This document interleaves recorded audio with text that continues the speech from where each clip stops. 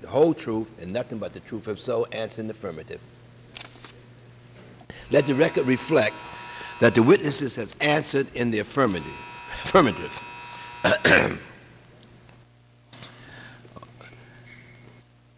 William K. Black is an associate professor of economics and law at the University of Missouri, uh, Kansas City. An author of the book, The Best Way to Rob a Bank is to Own One. Of course, uh, we welcome you to the committee. Uh, Russell Roberts is a professor of economics at George Mason University and a research scholar at Stanford University Hoover Institution. Welcome. Your entire statement will be placed in the record, and I'd like to ask you if you would assume the time and what the clock does. It starts out, it's on green, then it goes to yellow, and then it turns red. So we'd like for you to do it within five minutes, and we might have to stop you uh, because the fact that we have votes on the floor, and uh, but we want to get as far as we can uh, before. So thank you very much, and why don't we start with you, Mr. Roberts.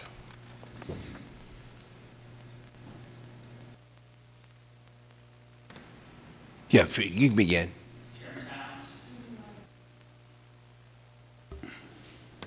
You may want to pull it a little closer, too. Chairman Towns, Ranking Member Issa, and distinguished members of the committee.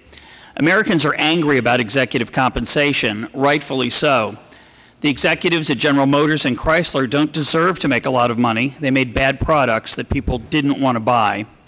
The executives on Wall Street don't deserve to make a lot of money. They were reckless. They borrowed huge sums to make bets that didn't pay off, and they wasted trillions of dollars of precious capital, funneling it into housing instead of health innovation or high mileage cars or a thousand investments more productive than more and bigger houses. Everyday folks who are out of work through no fault of their own want to know why people who made bad decisions not only have a job, but a big salary to go with it. No wonder they're angry at Wall Street. But if we keep getting angry at Wall Street, we'll miss the real source of the problem. It's right here in Washington. We are what we do, not what we wish to be, not what we say we are, but what we do. And what we do here in Washington is rescue large companies, large financial institutions, and rich people from the consequences of their mistakes. When mistakes don't cost you anything, you do more of them. When your teenager drives drunk and wrecks the car, you keep giving him a do over, repairing the car and handing him back the keys, he's going to keep driving drunk. Washington keeps giving bad banks and Wall Street firms a do over. Here are the keys, keep driving. The story always ends with a crash. Capitalism is a profit and loss system. The profits encourage risk taking, the losses encourage prudence. It is, is it a surprise that when the government takes the losses, instead of investors, that investing gets less prudent? If you always bail out lenders, is it surprising that firms can borrow enormous amounts of money living on the edge of insolvency? I'm mad at Wall Street, but I'm a lot madder at the people who gave them the keys to drive our economy off a cliff.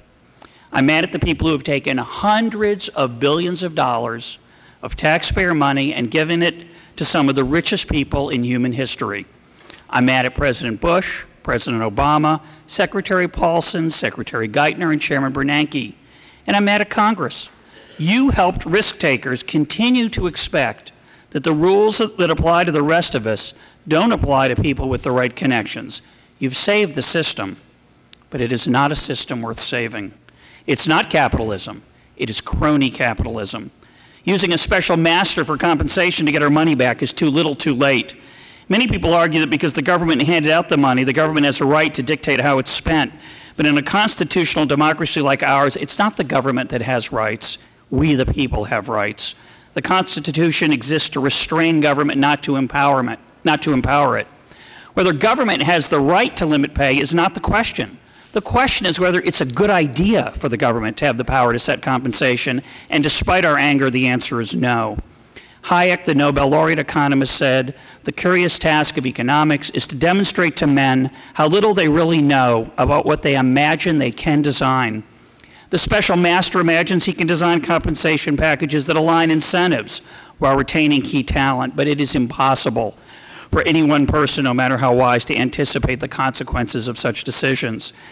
Nor does he have any incentive to acquire that knowledge. He has no skin in the game. A single individual has been given enormous arbitrary power with insufficient accountability or transparency. This is not good for the rule of law, democracy, or capitalism.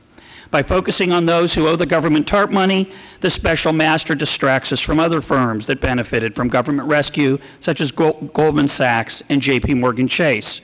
The comfort we receive from seeing competition, compensation reduced distracts us from the policies that created the problem in the first place the rescue of Wall Street from its own recklessness. It is a charade of political window dressing to make crony capitalism look respectable. I want my country back. Let's get the government out of the auto business, out of the banking business, out of the compensation design business. We need explicit timetables to disengage from government ownership, including a plan for how the Federal Reserve will draw down its balance sheet. Most of all, we need to stop trying to imagine we can design housing markets, mortgage markets, financial markets, and compensation. I want my country back. I want a country where responsibility still means something, where rich and poor, Main Street and Wall Street live by the same rules. We don't need a special master to level the playing field. We just need to take the crony out of crony capitalism so we can get back to the real thing. Thank you very much. Thank you uh, very, very, very much. Uh, Professor Black? I join Russ in thanking you all for having us, uh, making this opportunity, and I would certainly agree with him strongly that what we have is crony capitalism. But it isn't crony capitalism that occurs simply because of bailouts, and that's critical to understand. This same process occurred when creditors were wiped out, when subordinated debt holders were wiped out, when shareholders were wiped out, it happened when there were absolutely no bailouts in Enron and WorldCom, in all of these circumstances. And it was the same mechanism, executive compensation, that drove those frauds. It is what is producing the crony capitalism. And you can stop the bailouts, and I think you should, but you're still going to have this problem unless you deal with pay. And you have to deal with not simply executive compensation, you have to deal with compensation more broadly. Let's look what happened. In the savings and loan crisis, there was an exhaustive investigation of what happened, and the National Commission found that in the typical large failure, fraud was invariably present, and that the means of the fraud was accounting fraud, and that the way you convert the firm assets to the benefit of the CEO is through modern compensation mechanisms. You saw that in abundance with Enron and WorldCom, the use of the rank and yank system to incent people to commit frauds. In other words, we have known for at least 35 years how to do incentives. And it came not from government, but from a very conservative libertarian, Michael Jensen who said, We're doing it all wrong. We need to change compensation. We need to go to much more aggressive performance based pay. And he set out how you should do it. And what did Mr. Feinberg just report?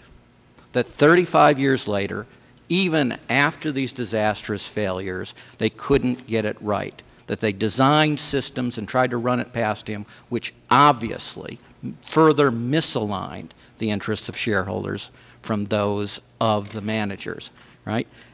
So we need to stop that system. That is the system that has caused this crisis.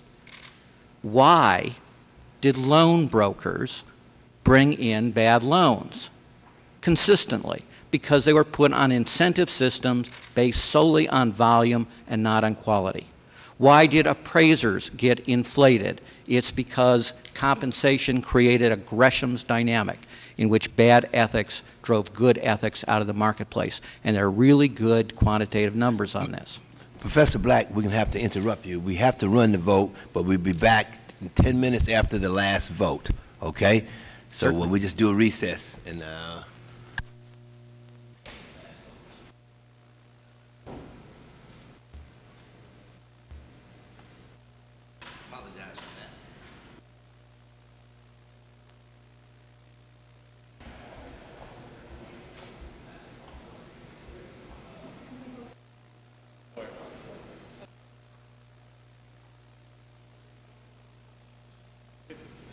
responsibility.